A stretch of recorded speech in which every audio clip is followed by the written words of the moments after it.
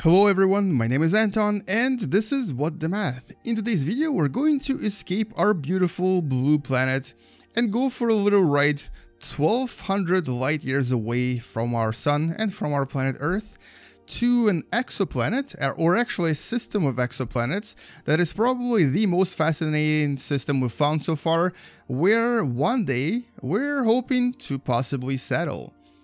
Welcome to What Da Math. And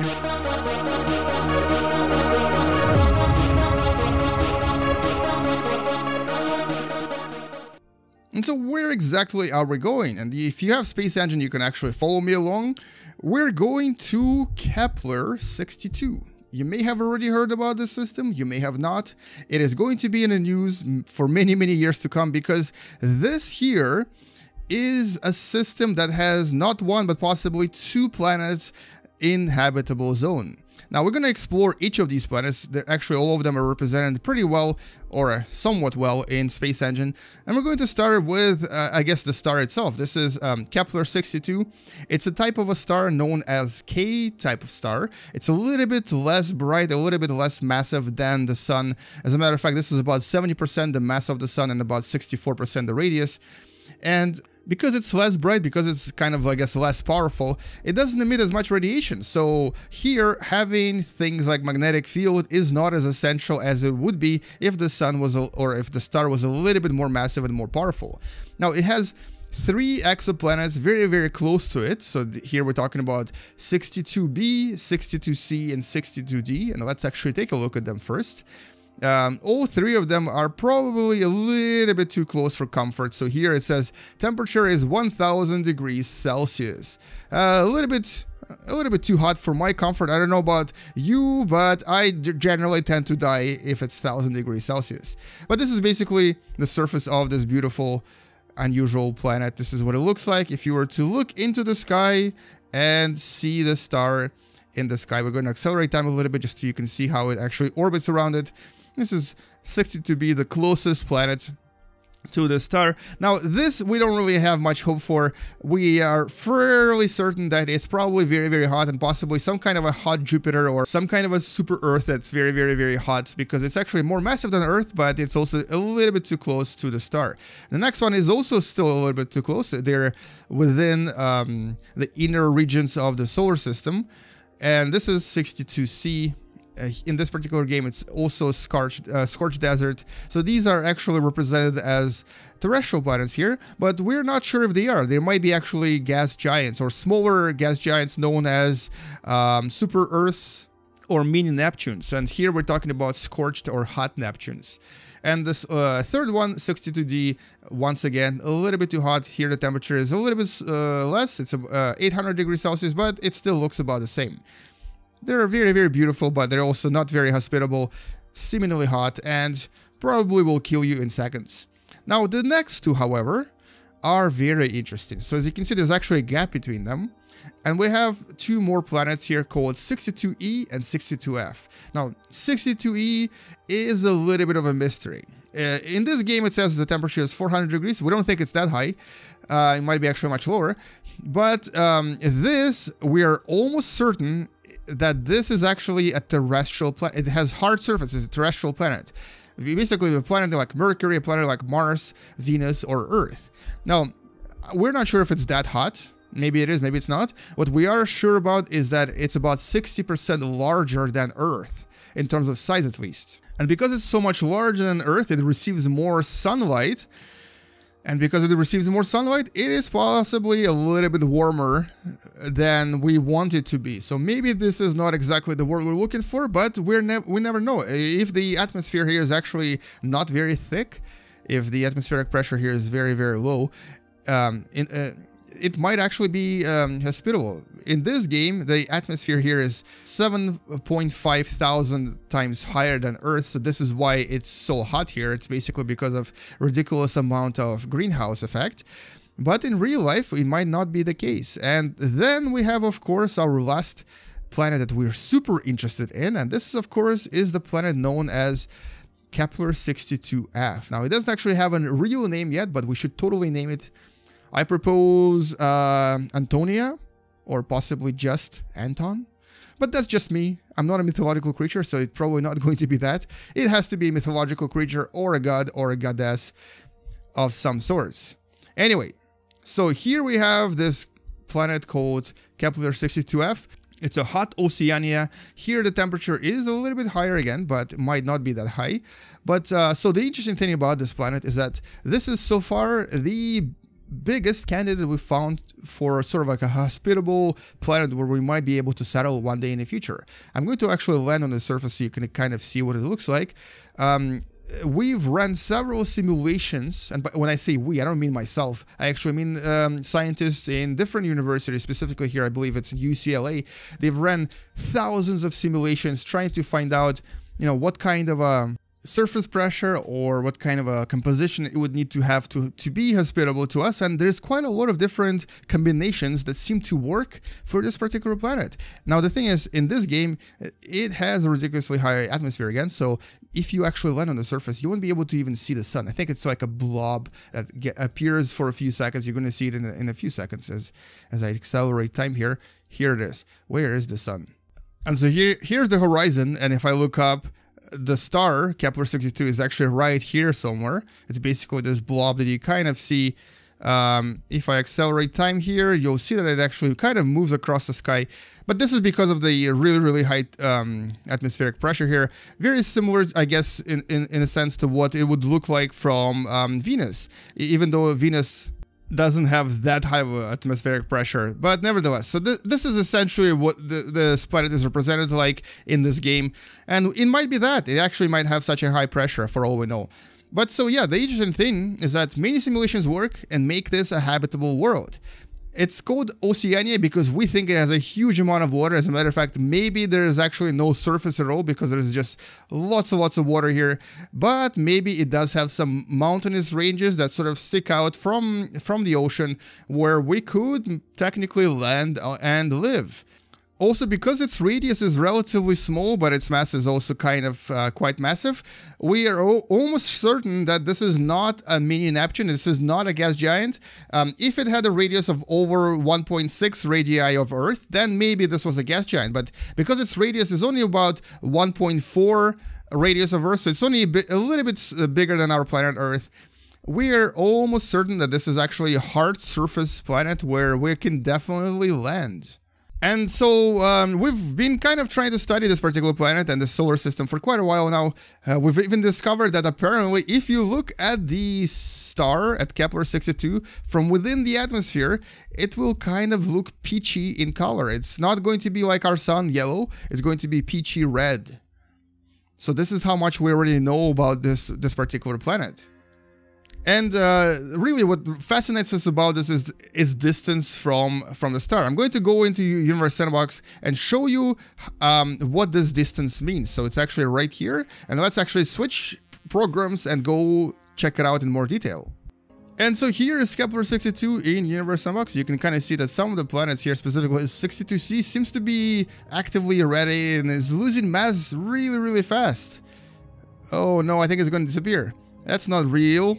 Anyway, so this is Kepler 62, and what I wanted to show you is this. I actually wanted to show you the habitable zones in this system so you can kind of get an idea where these planets lie. So 62E is on the outskirts, and 62F is also on the outskirts, but on the other side. Both of them are sort of within the habitable zone, which is of course the green ring you see here. And this is of course the area we refer to as a Goldilocks zone because this is possibly where it's it's possible for us to have liquid water and obviously life. Now, why is this important? Well, because we've been looking for planets in this region for a very long time and finding two of them is very unusual. This actually gives us the highest possible chance of finding a planet that either has life already or that we can later use for colonization sometime in the future when we figure out how to get here because it's 1200 light years away, which is really, really, really far away. Now, all of these planets are simulated a little bit differently in this game than in Space Engine. So here you can kind of see that this is actually a frozen world uh, that's a little bit less massive than Earth. So this is not exactly correct. We need to change this to about, I think it's about 1 point, 1.4 radii of Earth, so it's going to be a little bit more massive, and uh, obviously it should be a little bit warmer as well. But in this case, I think it doesn't actually have any atmosphere, so if it has no atmosphere and it's lying on these outskirts, its temperature is going to be minus 65 degrees. However, if it does have, let's just say, one atmospheric pressure of atmosphere, just like Earth, in that case, the temperature might increase a little bit because of the greenhouse effect and will then become, let's find out what it's going to become. It's already over 25 degrees Celsius, so it's actually already quite warm. Now, so the thing about this particular system Oh, and by the way, this uh, this planet actually takes only about 267 days to orbit the star.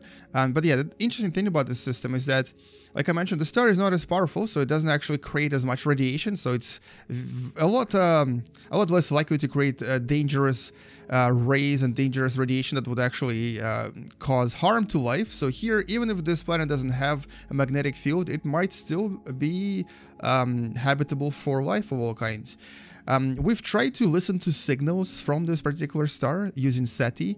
We haven't heard anything, and if we actually have heard anything, it would have already been about 1200 years too late. Um, but yeah, so no SETI detection. So if there's aliens, they're either just like us, uh, basically learning to do uh, things at this particular moment and still haven't really sent us anything or have sent us anything and we'll probably hear it in a thousand years, or there's nothing here. And even though we technically don't really know the exact composition of the atmosphere, the exact mass of this planet just yet, um, the future telescopes, specifically James Webb Telescope, which is going to be launched in 2018, is actually going to be able to analyze this in more detail and even find out the density, the uh, composition of this layer right here, which is the atmospheric layer. So it's uh, going to give us a lot more details about Kepler 62f and possibly even finally answer the question of whether we should actually try to get here and bring some colony ships and uh, obviously colonists that are willing to go so far away, or if it's a planet that's ridiculously hot or ridiculously cold, or possibly just a big ocean. Another really interesting thing about this particular system is that K-type stars actually live much longer than um, G-type stars, which is of course our sun. So our sun is going to be dead and this star is still going to be going. Uh, they, they, usually live two to three times longer than um, G-type stars. So if one day humanity reaches a point where we just need to escape our system because our sun is about to explode, this might be actually a very good system to go to because it will still be around for at least 10 more billion years after our sun is gone. But there is one small uh, requirement for these two planets that we need for them to be habitable. They both of them actually have to have quite a huge amount of CO2. We need to have CO2 for the greenhouse effect because without the CO2, even if there is uh, quite a lot of atmosphere but there's no CO2 on the inside, um, or any kind of greenhouse gases that is, um, there's just not going to be warm enough temperature for us to feel comfortable living here. But if there's too much CO2, it might turn into Venus I want me to demonstrate this by making this like, I don't know, 100 atmospheres. It might turn into Venus and as you can see the surface temperature is dramatically increasing every day. And it will then become this, a desiccated dry world. Even though it's relatively far from the star, it will lose all of its water and become a deadly hot planet that basically has no, no life or nothing on the surface. So we just hope that it does have this right composition of atmosphere and CO2 for us to kind of possibly live here. And I guess we'll find out one day, or hopefully we will. Now, one thing I haven't mentioned is that Kepler 62f and 62e, they actually have a very interesting pattern called, called resonance. I'm going to show it to you by zooming in here. Um, so I'm going to align them first and here they are kind of aligned right here. Uh, their resonance is called 2 to 1, meaning that for every two orbits of Kepler-62e, uh, you get one orbit of 62F. All right, so they're not exactly in resonance in this game, but they should be. So every time this orbits once, this planet orbits twice. And that's of course a pretty cool resonance to have. This means that they've been around for a very long time. They've established this very sort of predictable and very stable pattern. 2 to 1 resonance is actually very stable. And what this suggests to us, um, what this kind of uh, tells us is that uh, this system has been around for a long time and is possibly very, very stable, which is actually good. Now, this is what would happen if, if Kepler-62f had an atmospheric pressure of 100 atmospheres of Earth it would become approximately 600 degrees Celsius in temperature, just a little bit hotter than Venus. And it's kind of like super, super hot and melting on the surface here. But nevertheless, I think everyone at NASA and other space agencies, including myself actually, are hoping that this is not the case. We're hoping that this is actually a habitable planet, and we're hoping that we finally discover technology that can take us here, because settling here would be absolutely awesome. Now, still don't have a name for this system, but we should definitely name it soon because this is probably one of those systems that is one of the best hopefuls for now that may actually harbor life right now or possibly in the future if we come here. And I think that's all I wanted to say about Kepler 62, which I unfortunately warmed up a little bit too much, so I'm going to possibly bring it down a little bit to the normal temperature that it had before, and we're going to return some of the water to it.